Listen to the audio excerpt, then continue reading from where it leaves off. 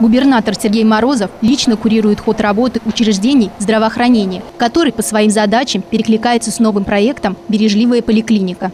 Он был запущен Минздравом России в ноябре 2016 года и призван минимизировать временные затраты пациента на посещение врачебных кабинетов, оптимизировать работу регистратуры, врачей и лаборатории.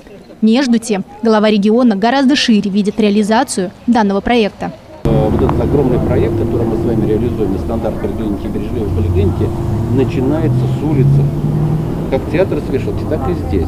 Поэтому вот мы видим еще раз говорю о том, что идут вот э, пенсионеры, идут, так сказать, опираются на э, клюшечку. Нигде нет возможности присесть. В медицинских учреждениях Заволжского района уже оптимизирована работа регистратуры.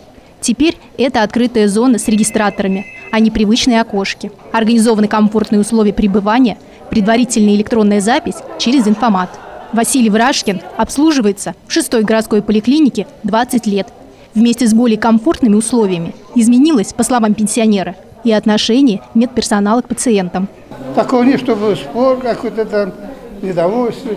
Бережливая поликлиника не потребовала больших затрат, и в этом его преимущество. Просто перестроили работу регистратуры, перераспределили потоки пациентов, ввели электронный документооборот. Бережливые поликлиники больницы – это бережливое отношение к кадрам, площадям. Это максимально удобное расположение для наших пациентов, лечебных учреждений, логистика внутри этих учреждений.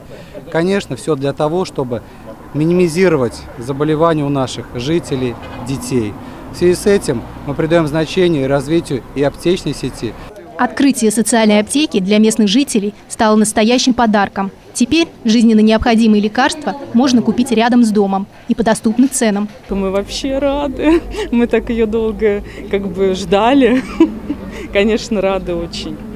В результате проведенных преобразований повышается доступность амбулаторной медицинской помощи, усовершенствуется работа врачей, в том числе за счет использования современных информационных технологий. Альбина Махмутова, Юрий Канихин. Новости Ульяновской правды.